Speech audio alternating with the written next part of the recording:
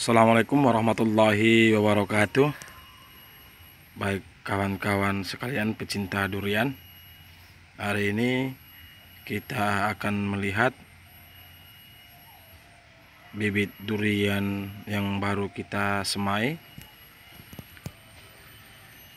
Nah ini kawan-kawan Seperti ini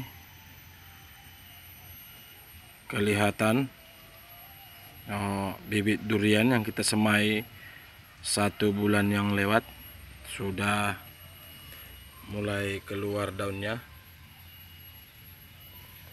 Ini kawan-kawan masih oh, di dalam biji durian itu daunnya belum lepas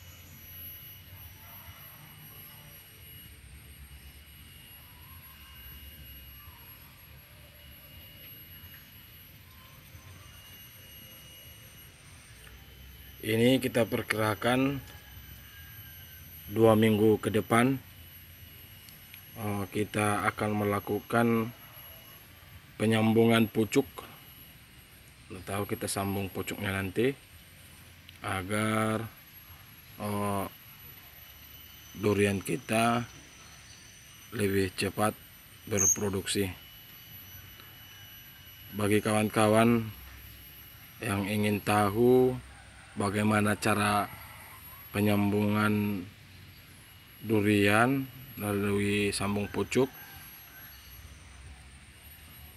Nanti kita akan membuat oh, tutorial videonya. Mudah-mudahan bermanfaat bagi kawan-kawan yang ingin melakukan pembibitan sistem sambung pucuk nantinya. Untuk sekedar informasi bagi kawan-kawan oh, bagaimana proses atau cara melakukan oh, penyambungan pucuk terhadap bibit durian. Ini kawan-kawan contohnya. Ini kan ada sudah jadi batang. Nanti yang kita potong itu di sininya. Pas di bagian antara yang kecil dengan yang besar ini pas di sininya. Nah, kemudian ini nanti kita belah di tengah-tengah. Lalu pucuk yang kita ambil dari yang pohon yang sudah tua lalu kita masukkan ke celah yang sudah kita potong tadi kemudian diikat lalu dikasih sungkup atau ditutupi dengan plastik.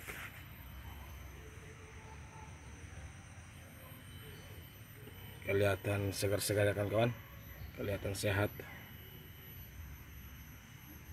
Ini tadi tadi pagi baru lepas biji duriannya yang ini juga kawan-kawan. Yang ini semalam sudah lepas.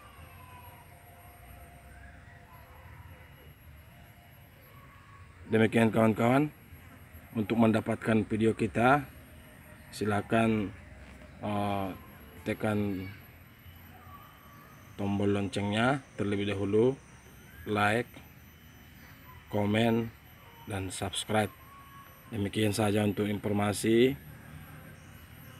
Assalamualaikum warahmatullahi wabarakatuh